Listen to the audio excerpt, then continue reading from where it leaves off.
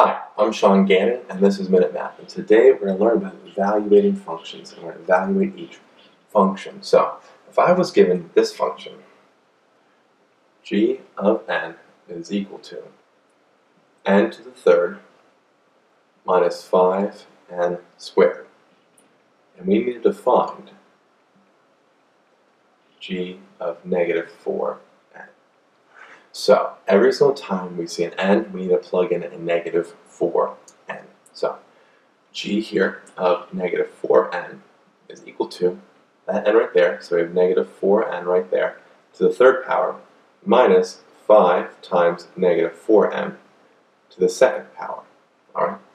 So now we need to simplify this. Okay? Well, g of negative 4n, we just rewrite that down here, is equal to so we have negative 4n to the third power. Well, what we need to do is, okay, negative 4 to the third power is a negative, uh, 64. Right? Negative 4 uh, uh, times negative 4 is a positive 16, and positive 16 times negative 4 is a negative 64. And the third power also goes down to the n, so we have n to the third power right there. So now we have uh, subtracting by 5 times, okay, negative 4 into the second power. Well, negative 4 times 4, uh, sorry, negative 4 times negative 4 is a positive 16. And we have n squared, really, n times n is n squared.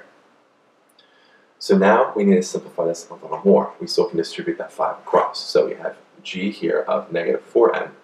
We bring down the negative 64 n to the third power. And then we have the minus. Well, 5 times 16 is 80. So we have 80 here, n squared. And so our final answer here, there's nothing more that we can combine, there's no like terms, is g of negative 4n is equal to a negative 64 n to the third minus 80n squared.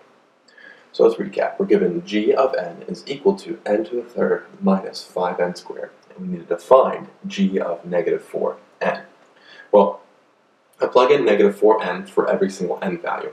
Right there, right here, giving us negative 4n to the third minus 5 times negative 4n squared. Simplify that, negative 4n to the third is negative 64n to the third, and negative 4n squared is 16, positive 16n uh, squared. We then had to multiply 5 times 16, which was 80. I'm going to minus 80 right there. So, simplified all the way down, our final answer here is g of negative 4n is equal to a negative 64n to the third minus 80n squared.